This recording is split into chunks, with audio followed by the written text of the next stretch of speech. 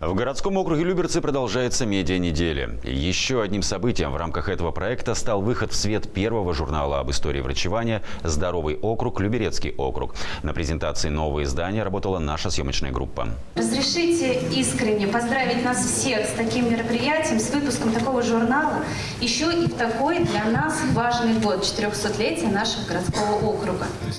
Новое издание – очередной подарок люберчанам к юбилею города. Главный редактор журнала Наталья Феоктистова, действующий главврач, член общественной палаты городского округа Люберцы, где она курирует вопросы здравоохранения. Идея создания журнала родилась давно, но только после огромной проделанной работы – выпуск в руках читателей. Я очень э, поддерживаю Наталью Львовну и всю команду, которая готовит этот э, журнал к выпуску.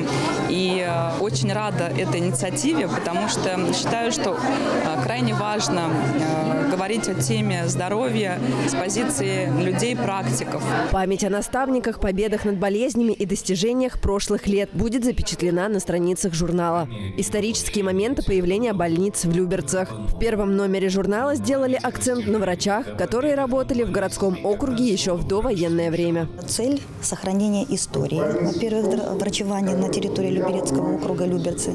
И, конечно, каждому было бы важно знать о том, что как правильно сохранить здоровье, как ухаживать за ребенком, как э, что-то новое появляется в здравоохранении. И это будет первоисточник.